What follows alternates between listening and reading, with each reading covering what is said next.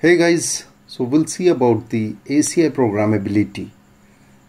Cisco ACI programmability is open to any language or process that support REST APIs. There are many different ACI developer resources, learning labs, sandboxes and videos along with Ansible, Puppet, Python and Ruby can be found used for programmability. So we will going to learn how to do the ACI automation with the APIs. In the entire course you will able to learn how to set up the Python lab for ACI and how you can perform the ACI changes with the Python scripts. In this section you will see how we can automate the ACI task and run the Python script. So let's start. I'll be showing you some sample script that we can run to perform the ACI tenant configuration. So here you can see one example for demonstration. So let's see we are going to create one new tenant here. I'll give the name to new tenant as ACI automation and the VRF that I'm creating here I'll give the name VRF underscore ACI auto. My BD would be BD underscore ACI auto. Application profile will be ap underscore auto aci and I'll take two nodes here 101 leaf and 102 leaf. Interfaces I'll use any two interfaces.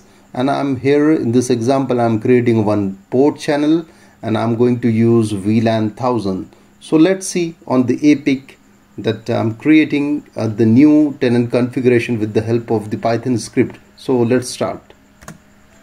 Okay so I have opened APIC. Now I'll put my username and the password and here I got the login.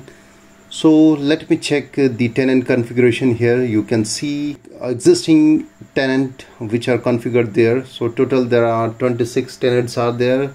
So here as I've said earlier so I'm going to create uh, this configuration on the APIC so let me open the PowerShell here. So I'll open a PowerShell here and uh, I'll need to run the Python script with the help of uh, the PowerShell so let me start uh, doing the uh, configuration here with the help of the script. So here uh, I'll use Python and the Python script here I'll need to put the user ID of the APIC and then I'll need to put the URL of the APIC and then I'll put the password here.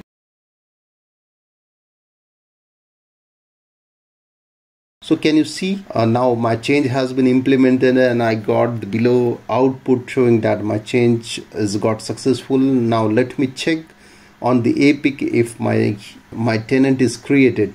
So here you can see uh, I have uh, just created the ACI auto tenant and now I'm able to see. ACI auto tenant has been configured now. So along with this you can also see the application profile has been created. Under the application profile EPG has been created and under the EPG you can see I have uh, mapped the domain and also you can see static ports are configured so in this way we have done with the all the logical configuration successfully. In the next section you will see how to edit the Python scripts and how you can do the monitoring with the help of the scripts.